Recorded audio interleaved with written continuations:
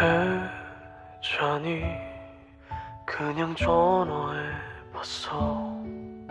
받지 않겠지 뭐 문득 생각이 나서 너와 헤어지고 많이 방황했던 너 이제야 그때가 그리워. 뒤늦은 후회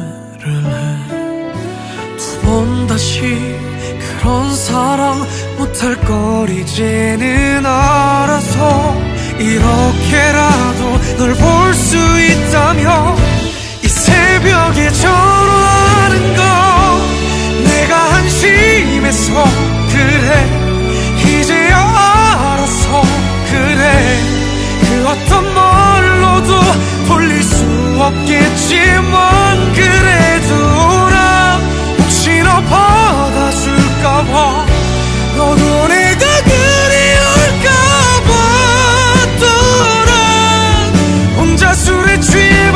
않을 전화를.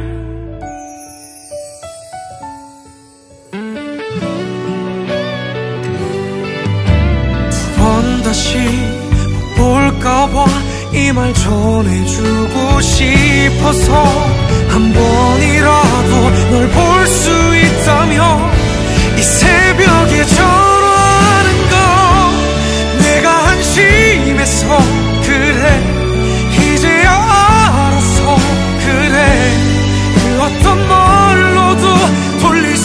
없겠지만 그래도 나 혹시나 받아줄까봐.